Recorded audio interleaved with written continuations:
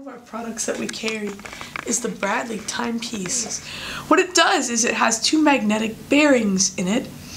Um, one is around the edge, goes around the, the circumference of the watch, around the edge here, and the other is on the face, and you can see it right here, this magnetic bearing. And even if you move it while you're feeling the time tactily, you just give it a little shake and it pops back into place. So this lets people tell the time.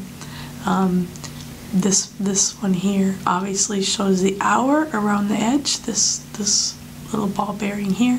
So when it's straight up, you can see that it's 12 o'clock. Over here, a little a little further to the right, you can see when it's one o'clock. If you just happen to slide that bearing, just give the watch a little shake, and the bearing will slide back into place. So if I were to wear this,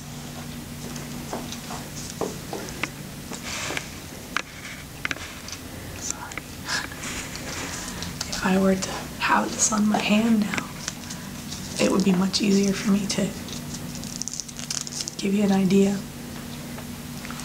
So I could give it a shake like that and the bearings fall back into place. So we can see by this one here on the side the hour and then the minute is represented. By this one we can see that it's about quarter after because it lines up with this tactile marking at the three o'clock position.